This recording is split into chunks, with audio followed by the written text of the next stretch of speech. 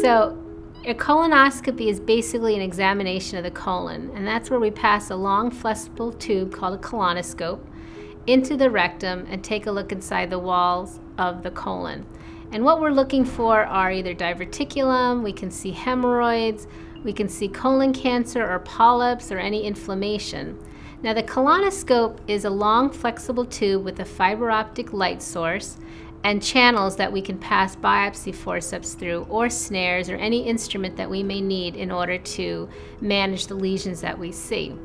This, the test in general is actually really very safe. In order to prepare for the colonoscopy, you need to drink clear liquids and a laxative in order to clean everything out.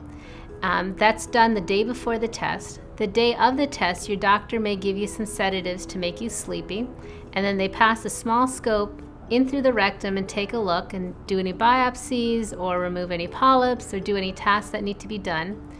Um, after the test, the scope is obviously removed. You may feel gassy or a little bloated because the doctor does put some air in to insufflate the colon in order to take a look inside the wall.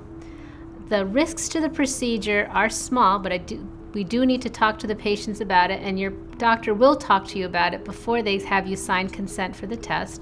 Those would be bleeding, making a small hole, infection, or problems with the sedation or missed lesions. And doctors are very careful so none of those things happen, but they do need to inform you that there is a small chance of those things happening.